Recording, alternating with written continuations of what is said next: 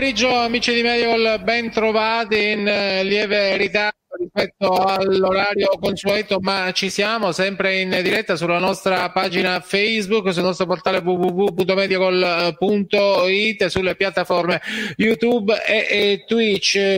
Scusiamo per qualche eventuale eh, problema tecnico, ma visto la situazione di particolare emergenza legata alla diffusione del coronavirus, siamo i primi a rispettare le norme comportamentali cautelative e di prevenzione prescritte eh, dai decreti ministeriali. Quindi eh, chiaramente cerchiamo di restare a casa, di evitare in questo momento contatti eh, fisici e sociali, di uscire solo esclusivamente per eh, motivi impellenti di estrema necessità. Insomma, abbiamo la possibilità di operare in smart working e quindi eh, cerchiamo di sfruttarla per regalarvi eh, un'informazione quanto più completa possibile. Io la vedo, lei è già pronta, non vedo l'ora di ripristinare eh, una condizione di normalità nella vita eh, sua e, e di tutti noi. Giulia Anello, ciao, buon pomeriggio.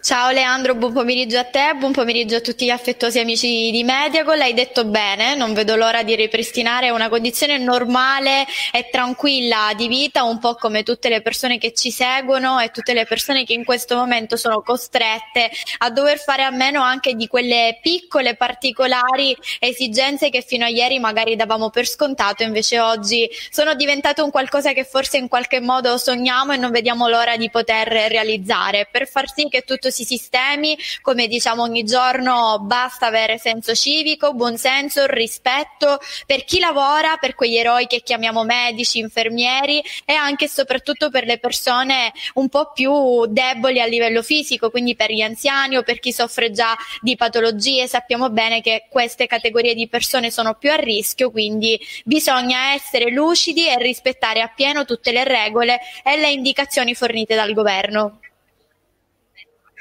Sì, non è semplice parlare di calcio in eh, questo periodo, noi cerchiamo di farlo marginalmente, ma cerchiamo anche di eh, continuare a, ad approfondire tutti i temi relativi al campionato del Palermo e non solo per provare ad alleggerire eh, un attimo un'atmosfera estremamente pesante, difficile, frustrante sotto il profilo psicologico per eh, tutti noi. Abbiamo oh, ospitato profili di assoluto spessore del panorama calcistico nazionale nazionale nel eh, corso di questi giorni, di queste eh, puntate, da Luca Toni a Massimo Oddo a, a, ad Alberto Girardino piuttosto che eh, Federico oh, Balzaretti e tanti eh, tecnici di assoluto rilievo, da Davide Ballardini a Delio Rossi, oltre a, a dirigenti che costituiscono veri e propri eh, totem, eh, direi, nell'ambito per quanto concerne il panorama nazionale. E, e continueremo anche oggi perché vogliamo vogliamo parlare eh, sì di calcio ma anche di questa emergenza coronavirus che volente o nolente sta davvero pesantemente condizionando eh, la vita di ognuno di noi. La curva epidemiologica dagli ultimi dati della protezione civile sembra un attimino arenarsi, ma insomma il numero eh, dei contagi e purtroppo anche quello delle eh, vittime è un numero sempre eh, piuttosto considerevole che ehm, ci lacera eh, quotidianamente il cuore. Allora, pronti con, parlavo di totem eh, dirigenziali, insomma direi che lui lo è per eh, antonomasia, l'ex responsabile dell'area tecnica del Palermo e del Genoa, tra le altre Giorgio Parinetti, direttore. Grazie, buon pomeriggio. Buon pomeriggio, un saluto agli ascoltatori. Buonasera. Allora, direttore, eh, mi sente? Sì, io la sento perfettamente. Io la sento, perfetta, sì, la sento perfettamente. Allora, uh, come, come, sta vivendo lei questa quarantena fiduciaria? Uh, è un momento difficile, frustrante eh, da gestire sul piano psicologico, ma bisogna necessariamente attenersi alle norme comportamentali per riuscire a superare quello che possiamo definire un incubo oltre che eh, un'emergenza sanitaria mondiale. Ma assolutamente, eh, la viviamo in casa, io magari ancora più penalizzato perché essendo solo naturalmente ho, difficoltà a gestire anche le cose di casa, ma questo lascia tempo che trova. Il fatto che questa possa essere l'unica risposta a contenere i contagi e quindi poi a cercare di superare questo incubo, eh, credo che è un sacrificio enorme ma che valga la pena di fare perché non, non, si vedono altre situazioni che possono in breve e medio termine contrastare il fenomeno.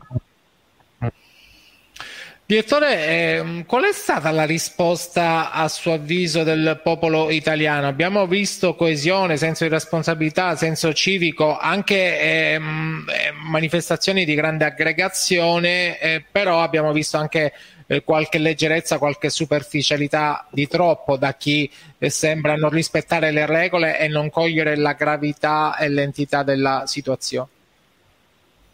Ma l'approccio non è stato felicissimo, no? perché noi siamo un po' così, eh, fatta la legge da Madovigano e pensiamo che eh, bypassando un, una normativa, una disposizione, un'ordinanza, una scusa eh, abbiamo risolto il problema. Qui non si scherza, qui si scherza con la salute, e naturalmente si parla eh, anche di contrastare il, il grande finale, cioè la morte. E allora mano a mano c'è stato un adattamento, ecco, all'inizio è stata presa in un certo modo, anche perché le notizie che arrivavano erano confuse, anche la preparazione che abbiamo avuto a questo evento non è stata così precisa, c'è stata confusione, prima era l'influenza, non era più quello che era, poi, era, poi prima dicevano arrivava, poi è arrivato. Devo dire che adesso presa coscienza che del fenomeno così tremendo, si stanno penso adeguando tutti. E credo che sia fatto, avessimo fatto subito magari avremmo evitato qualche guaio in più, però purtroppo c'è stato ecco, un adattamento al problema e adesso credo che ci sia coesione naturalmente da parte di tutti perché si è capito che non si può scherzare. Direttore, rapportando oh, la delicatissima e spinosa questione al mondo del calcio, oh, è tutto fermo, abbiamo visto tanti provvedimenti inizialmente a singhiozzo, abbiamo visto anche l'UEFA soprattutto probabilmente intervenire un po' in ritardo. Si parla molto, ne parlavamo anche nei giorni scorsi con i nostri ospiti, eh, di questa Atalanta-Valencia, eh, di questa uh, andata degli ottavi di finale di Champions League a San Siro, insomma forse, forse far giocare quella partita partita non è stata una decisione del tutto uh, illuminata? Beh, eh, a quanto pare non è che abbia eh, scatenato tutto Atalanta Valencia, sicuramente avrà contribuito e questo è un peccato, ma l'UEFA si sa che è un istituto che molla sempre all'ultimo momento, quando proprio l'evidenza non permette più di, di scegliere strade diverse eh, Atalanta ci sono tante tante partite giocate comunque a porte aperte, eh, comunque giocate, comunque eh, i decreti lasciavano che i campi fuori, lo stadio fosse aperto, eh, quindi diciamo la responsabilità eh, un po' generale, comunque sia è stata fatta sicuramente una leggerezza in quel caso, ma l'UEFA ripeto poi tra l'altro eh, cerca sempre di arrivare fino a, a, a, prova concreta, cioè non ha voluto prevenire, non ha voluto prendere una posizione diversa subito, ma questa non è la prima volta che succede. Adesso tutto il mondo dello sport, vediamo anche con l'esempio Olimpiadi, insomma, ha preso atto ovviamente che non è possibile mettere a rischio la salute degli atleti e di tutto il mondo che circonda lo sport, perché poi una squadra è fatta di tante componenti, di tante persone e soprattutto poi quella degli spettatori che potranno tornare solo quando tutto sarà tranquillo. Allora, Giulianello, ovviamente diamo notizia ogni giorno purtroppo di numerosi calciatori appartenenti ai club professionistici non soltanto in Italia positivi al, al tampone. Assolutamente sì, detto ciò, buon pomeriggio direttore, volevo appunto chiederle se in relazione al numero di contagi che di giorno in giorno aumentano, questa situazione sarebbe riconducibile ad un ritardo arrivato da parte del mondo del calcio di muoversi all'interno di questa situazione o se comunque anche se il calcio fosse stato sospeso prima, a suo parere la situazione sarebbe stata identica a quella che si sta verificando in questo periodo. Ma io non ho i dati per poter uh, veramente affermare una o l'altra delle ipotesi. Io, qualche leggerezza c'è stata da parte di tutti, del resto se il calcio ha giocato anche perché i decreti consentivano di giocare.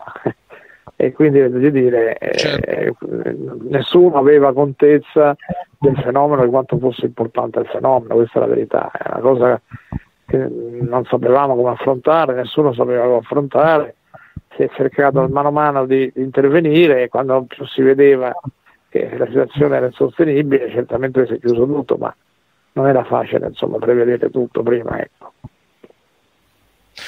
Direttore, lei è, è ovviamente un uh, dirigente con straordinaria esperienza alle spalle ed è anche uomo saggio, quindi le chiedo subito, è il caso di riprendere eh, la stagione calcistica, chi si assumerà la responsabilità di dire eh, ad una determinata data ok signori non c'è più rischio, possiamo tornare a giocare perché insomma questa è una responsabilità eh, davvero pesante, molto, molto gravosa, forse la stagione di fatto finisce qui?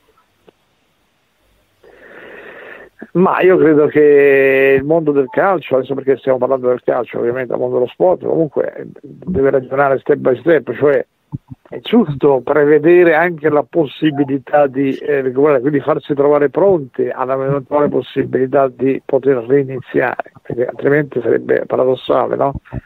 Cioè, magari possiamo iniziare e poi non siamo pronti per iniziare, quindi questo va fatto per dovere, però è chiaro che le recenti, recenti accadimenti, le situazioni che si stanno mano a mano eh, manifestando, sviluppando, è chiaro che la speranza di poter riprendere con serenità, con tranquillità, eh, è molto remota perché eh, insomma, vediamo tutti i giorni di, di, che si parla. Poi in questo momento stiamo monitorando tutta la situazione, in particolare in Lombardia, ma eh, non, non, sappiamo quello che potrà accadere naturalmente in altre regioni, quindi dobbiamo essere molto attenti, molto accorti, prepararci come si sta facendo, per la verità il mondo del calcio finalmente è coeso, finalmente sta cercando delle soluzioni. Allora, prima eh, ipotizzare anche che si possa chiudere questo campionato, ma essere ovviamente pronti a eh, dire, affrontare l'inevitabile caduta negativa economica di, una, di un campionato chiuso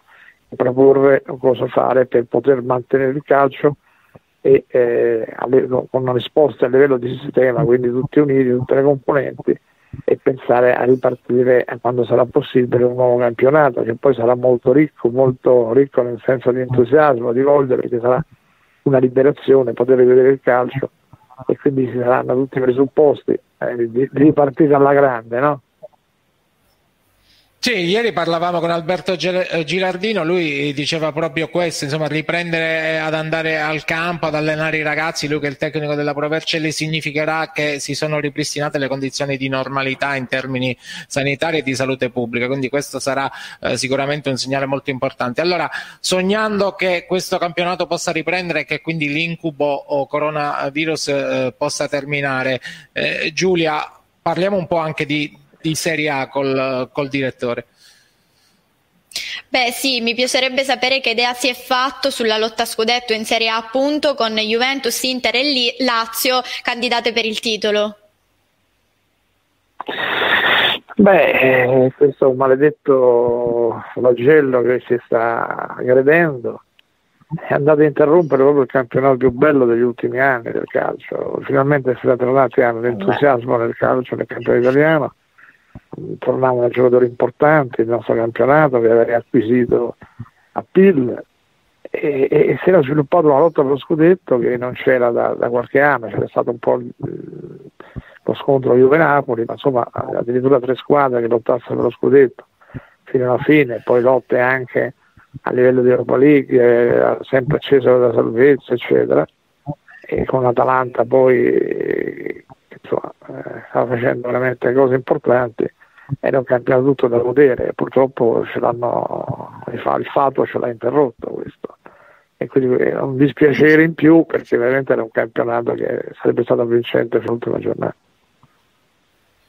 Allora Sarri, Conte o Simone Inzaghi sono loro i leader in panchina delle tre big che si contendono lo scudetto. Lei c'è qualcuno che conosce meglio, qualcun altro meno, ma dal punto di vista della filosofia calcistica e metodologia di gestione, chi la convince di più, chi sente più, più vicino al suo modo di intendere il calcio, direttore? Io il calcio dico sempre che non c'è una verità assoluta, no? ha vinto tanto Mourinho, ha vinto tanto Guardiola, che possono essere quasi considerati all'opposto, diceva Trapattoni, diceva eh, ah, c'erano altri allenatori con altre caratteristiche, non, non c'è una verità assoluta, no? bisogna capire quali sono le funzionalità e quali sono i giocatori che ha a disposizione qua. Per quanto riguarda questi tre hanno fatto tutti benissimo, il Conte ha avuto un impatto importante nell'Inter Sarri con eh, buon senso non ha stravolto la Juventus vedendo che magari i suoi concetti non erano recepiti da un gruppo di giocatori dove non tutti erano diciamo, adatti al sarrismo tra virgolette e Inzaghi ha fatto un lavoro strepitoso perché sono anni che la Lazio fa eh, investimenti mirati, migliora la squadra anno per anno, non c'è, non c'è di migliori e Inzaghi ha saputo eh, sapientemente valorizzare tutta la sua rosa anche se non è numericamente estesa. E quindi Inzaghi secondo me avrebbe avuto grosse chance quest'anno dopo la sconfitta dell'Inter eh, con la Juventus proprio perché non avendo da preparare coppe e quant'altro poteva fare un lavoro mirato settimana per settimana e quindi sarebbe stato sicuramente molto insidioso nella lotta al titolo soprattutto con la Juventus Direttore, dentro la crisi eh, di due top club come Milan e Napoli, cosa c'è eh, a suo avviso? In particolare il Milan viene da troppe stagioni non all'altezza della sua storia, della sua fama, del, del suo prestigio. Beh, avevamo visto già il Milan, pur appartenendo sempre a Berlusconi e con la sapiente regia di Galliani, dirigente illuminato che per 28 anni ha guidato credo, il Milan, è già comunque in difficoltà con tanti cambi di panchina, con tante situazioni e con, e con classifiche non da Milan se vogliamo dire. E dopodiché c'è stata la cessione, sono stati spesi molti soldi, 220 milioni credo nel mercato, ma senza creare però una vera e propria identità Milan, anche se sono arrivati buoni giocatori non una struttura base sulla quale poi costruire il resto. E quindi poi si, si sono avvicendati troppi dirigenti, perché dopo è andato via Mirabelli, è arrivato Leonardo, ha fatto il suo con Pionte che Pagata, e poi ancora cambi con Maldini e Boban, che solamente hanno cercato di fare il meglio, però questi continui cambiamenti anche di allenatori, anche di, di dirigenti, anche di programmi, probabilmente hanno un po' eh, fatto smarrire al Milan la strada maestra, quello che era insomma una volta indubbiamente la, il club con più titoli, con più trofei, che vantava proprio coerenza, tradizione e continuità. L'Atalanta di Giampiero Gasperini incanta in Italia e in Europa. Giulia, hai qualche curiosità eh, in particolare proprio sulla compagine orobica da chiedere al, al direttore Giorgio Perinetti? Beh, se si è fatto magari un'idea su quello che può essere il segreto di questa squadra, di questa società e soprattutto di Gasperini.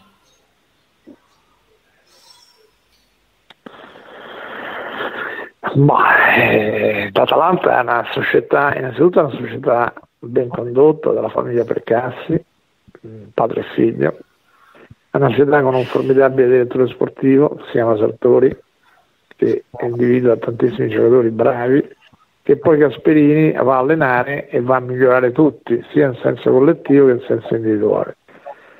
Gasperini è un allenatore formidabile e, ha trovato a Bergamo e l'Atalanta l'ambiente ideale per poter sviluppare il suo lavoro, è un lavoro metodico, un lavoro che presuppone carta bianca, nel senso di, di essere sempre appoggiato in quello che vuol fare, con, con, giocatori che devono rispondere quotidianamente a degli input eh, senza divismo, senza capricci, senza, eh, è un ambiente soprattutto coeso, quindi è un ambiente fantastico, una società moderna, un allenatore bravissimo è, un, è, una società che sa individuare quello che serve sempre per migliorare la squadra, quindi l'aspetto ideale ecco, per poter crescere come, come, società negli anni e poi tante cose indovinate, tra cui quella di Idici che insomma, ricordiamo Palermo discontinuo, ma sicuramente un campione.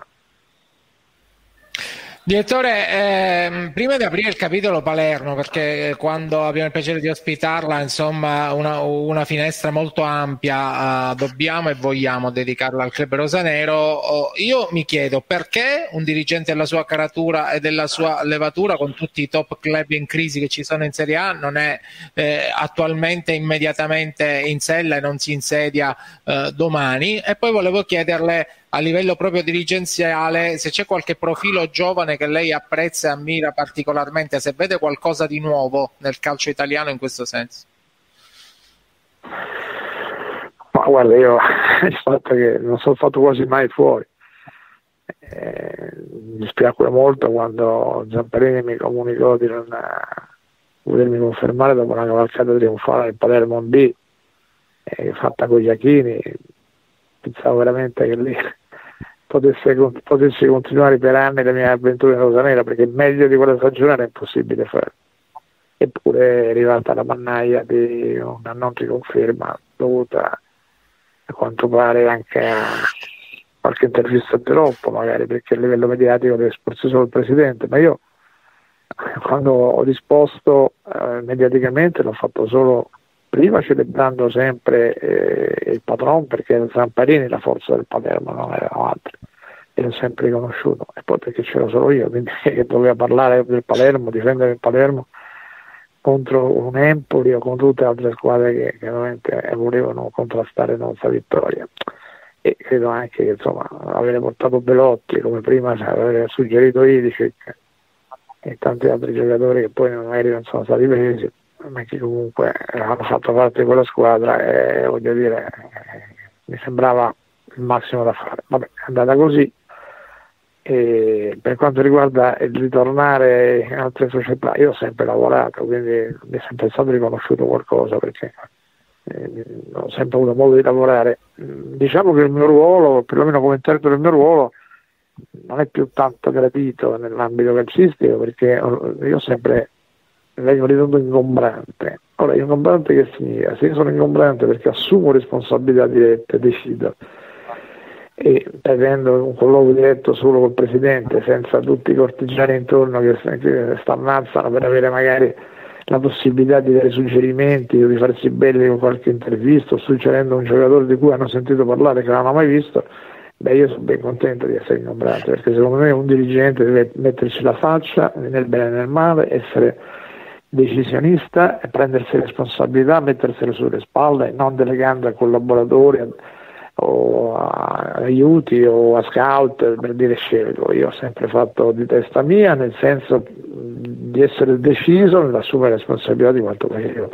Oggi mi pare che questa figura non sia tanto amata perché i presidenti vogliono fare molto da soli vogliono avere solo collaboratori e vogliono praticamente eh, è giusto perché le, le maggiori poi eh, problematiche sono loro se si sbaglia. E, dal punto di vista economico rischiano prima loro di tutti. Però credo che un dirigente è, fedele che interpreta al meglio il suo lavoro deve avere anche il coraggio di, di prendere iniziative e di, e di rispondere alle sue azioni Ah, direttore, lei mi aveva parlato eh, sul, sui dirigenti giovani della Novel Bug della um, uh, dirigenza sportiva Ma, italiana, se c'è qualche profilo che la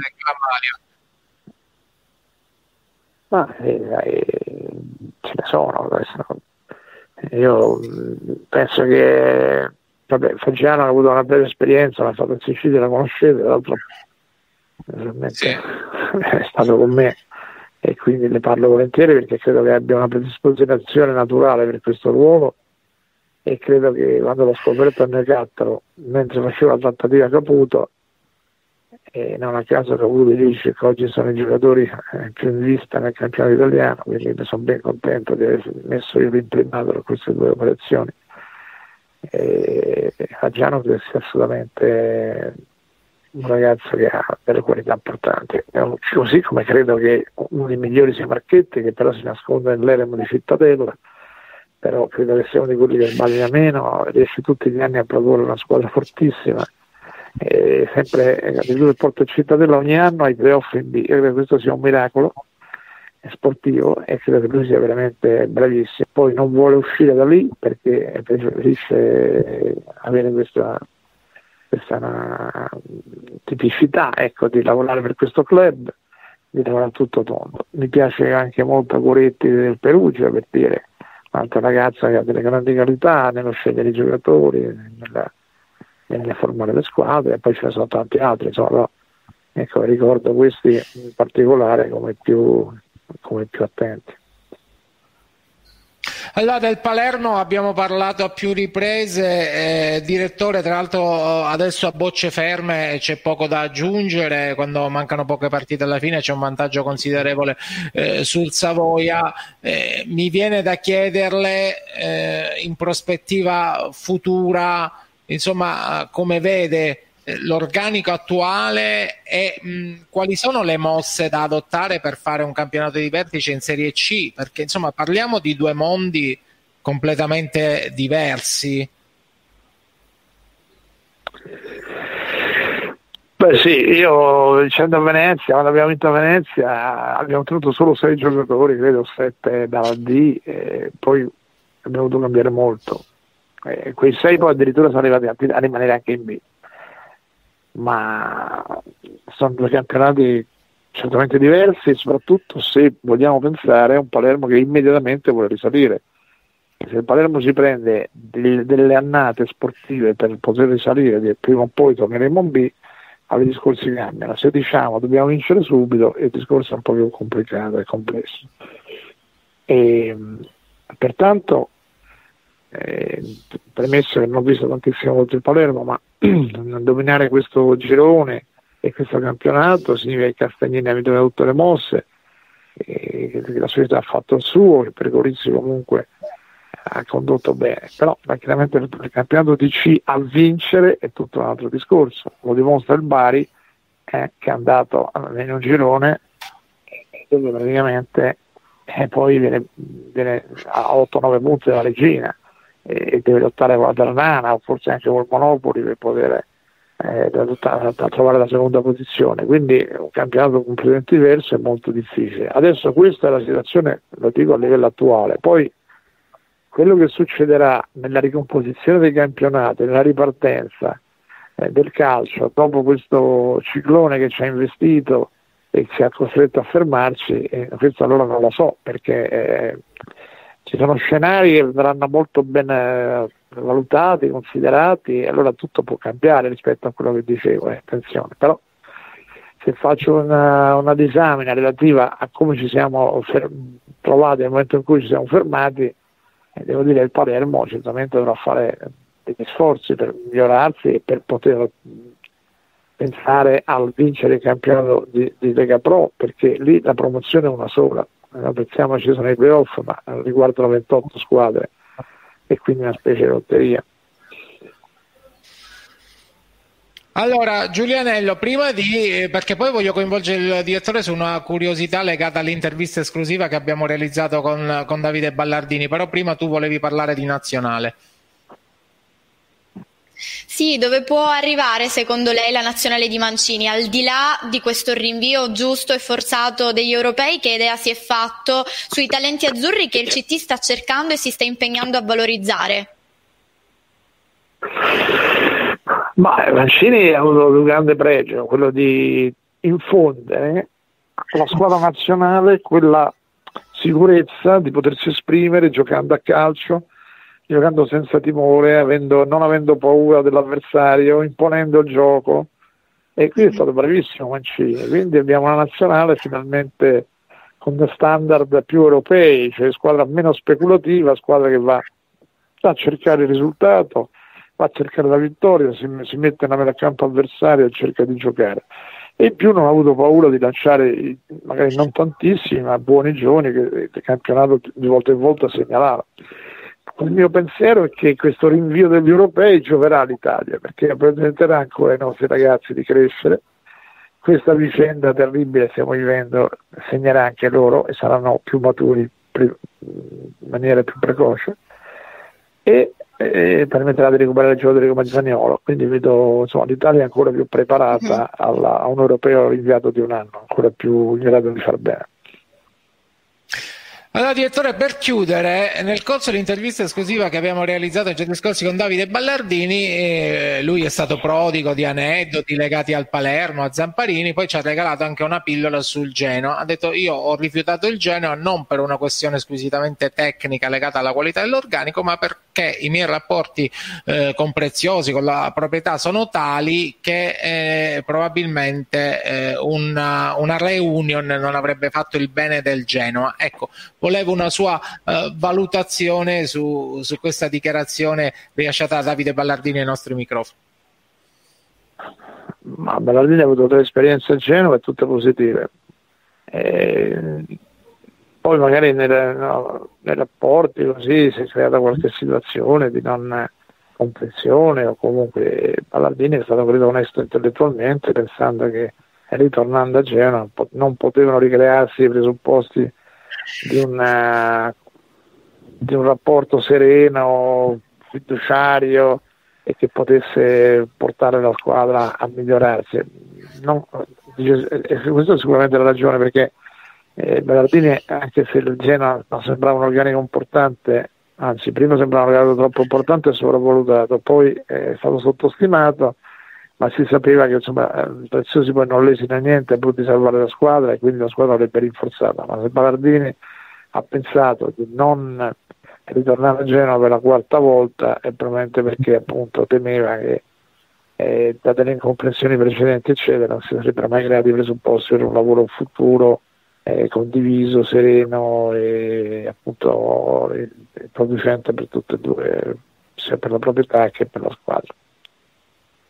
Direttore, prendo spunto da questo passaggio perché No, dico, prendo spunto da questo passaggio perché eh, Davide Ballardini si è soffermato anche molto sul ruolo dell'allenatore, sulla concezione, sul modo di interpretarlo, sul tenere sempre la, la schiena dritta e difendere eh, le proprie scelte tecniche, la propria autonomia a spada tratta. L'ha fatto con Lotito, anche se ha detto Lotito non, non entrava in questioni tecniche, l'ha fatto soprattutto con Cellino, con Zamparini e con Preziosi. Ecco, nel corso della sua carriera, di questi tecnici dalla personalità ehm, predominante, preponderante, non disposti a scendere a compromessi, quanti ne ha incontrati lei?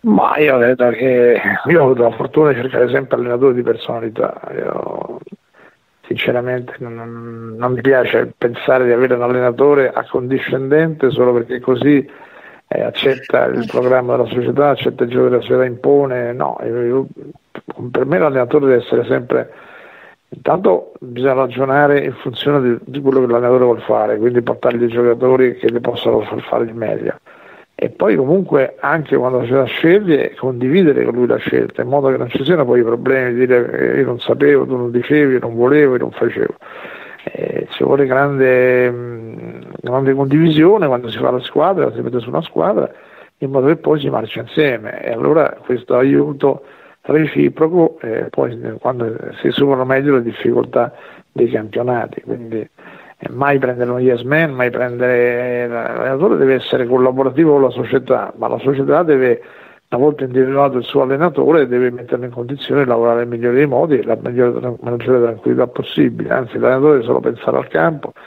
così come i giocatori solo pensare a giocare. Se la società riesce a mettere questo alone eh, di protettivo, di tutela che, che, fa da schermo alle pressioni ambientali, alle pressioni mediatiche e, e, e naturalmente consente di affrontare meglio l'avversario, si è trovata la formula giusta per vincere i campionati. Io siccome ne ho vinti tanti, qualcosina posso dire questo. Assolutamente, direttore, ci salutiamo così. Noi ci salutiamo così, ma me lo dice quando torna e dove torna? Lei sta preparando una sorpresa, mi aveva accennato qualcosa, ma mi dà qualche indizio? Ma io avevo, avevo, così, avevo praticamente realizzato un sogno, quello di lavorare all'estero, e eh, anche se sono, non sono più un giovincello, però un, eh, mi ritengo sempre dico, un, dirigente maturo con giovani idee, l'entusiasmo che avevo avuto nel fare un'esperienza fuori veramente mi dava una carica incredibile. Purtroppo questo pandemonio proprio che, viene, che è venuto fuori ai quali dobbiamo pensare con tanto rispetto perché esattamente è prima cosa da affrontare, il calcio viene dopo, come si dice, però ecco ha interrotto un sogno che avrebbe fatto veramente piacere. Poi c'era stato qualche contatto anche con i club italiani, quindi sarei potuto tornare. Speriamo che eh, il calcio ritorni e sia un messaggio di speranza, di fiducia per la gente abbiamo quanto ama il calcio, ma soprattutto di rinascita. Intenderemo il campionato di calcio una specie di rinascita, di ritorno alla vita normale, di ritorno normale penso non sarà più perché questo episodio ci dovrà insegnare tanto, ma comunque ritornare ecco, alle nostre piccole passioni quotidiane no? e questo ci consentirà di aver messo alle spalle veramente un bruttissimo momento. E lo vogliamo tutti fortemente. Direttore, le mando l'abbraccio ai numerosissimi messaggi di stima, di affetto ai tifosi del Palermo che la invitano sempre a tornare a un giorno domani, forse. Insomma, questa è una storia vecchia. Insomma, lei sa quanto Palermo ama Giorgio Perinetti ed è un amore ricambiato, quindi insomma, è, è inutile ricamarci ulteriormente sopra. Io faccio abbraccio fedelmente a tutti gli amici palermitani, mm, ne ho perso uno recentemente, Franco Marchione eh, del Palermo Calcio, che abbraccio ancora idealmente. E sì. così, abbracciando tutti, mandiamo un messaggio positivo di speranza, andiamo avanti, mia motte è avanti sempre, quindi dico avanti sempre, forza Sicilia, forza Palermo. Un abbraccio direttore, buon pomeriggio. Grazie a voi. Allora, salutiamo Giorgio Perinetti, ovviamente Franco Marchione, personaggio storico, un pezzo importantissimo, fondamentale della storia del Palermo Calcio. Ne abbiamo celebrato il eh, ricordo proprio anche nel giorno della sua scomparsa e Giorgio Perinetti ha fatto benissimo eh, ulteriormente, direi, a rendere omaggio a un personaggio meraviglioso che eh, ha speso la sua vita, la sua esistenza per il eh, Palermo Palermo Calcio, ricordato con affetto da tutti i calciatori, da tutti coloro sono transitati nel corso uh, degli anni nel, nel, club di Viale del Fante. Quindi, insomma, in questo momento così difficile, il nostro abbraccio uh, ideale va ancora una volta a lui e a tutti i suoi eh, familiari. Giulia. Assolutamente sì, come hai ben detto tu, noi tra l'altro abbiamo mostrato proprio live su mediagol.it quello che è stato l'amore, l'affetto e l'abbraccio, seppur in qualche modo virtuale che i tifosi hanno voluto riservare a un personaggio così importante della storia del Palermo. È stato bello poterlo ricordare anche oggi grazie alle parole di Giorgio Perinetti e noi chiaramente ci accodiamo ancora una volta a questo abbraccio tanto virtuale quanto importante, soprattutto credo in un momento così delicato della storia calcistica e della storia storia della vita di ognuno di noi. Sì, eh, parla di saggezza da parte di Giorgio Perinetti, chicche di matrice calcistica che fanno sempre piacere a tutti gli appassionati. Per oggi direi che eh, basta così, si torna in diretta alle 18 con Radio Medial. Ricordiamo che potete scaricare il podcast di questa eh, puntata su Google Podcast, Speaker, Spotify, Apple, iTunes. Non dimentico assolutamente nulla e poi tutte le news sul Palermo Calcio calcio, il panorama calcistico nazionale e internazionale sul nostro portale medical.it. Hai visto che eh, prendi in giro questo vecchietto Giulianello, brava, ti ho visto. non dimentichi nulla, ormai sei fatto veramente bravissimo. La eh. quarantena ti sta servendo anche a ripassare tutte le modalità per seguire mediagol.it, quindi top direi. Ok, Giulia Anello, grazie e ovviamente il tuo contributo sempre ehm, preziosissimo, puntuale, giornalisticamente impeccabile. Buon pomeriggio a te. Grazie a te, buon pomeriggio a tutti gli amici di Mediagol. Buon pomeriggio, alla prossima.